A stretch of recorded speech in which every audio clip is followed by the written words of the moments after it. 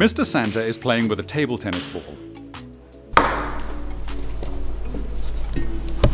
But what is he doing now?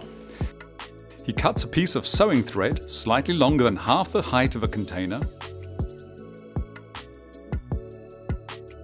He glues one end of the thread to the ball and the other end to the bottom of the container.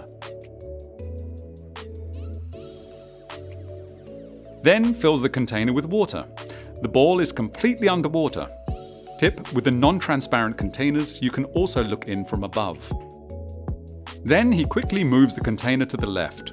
What happens to the table tennis ball at the initial moment the container is moved? A. The ball moves in the same direction as the container. B. The ball moves in the opposite direction to the container. C. The ball starts to sink. D. The ball starts to spin.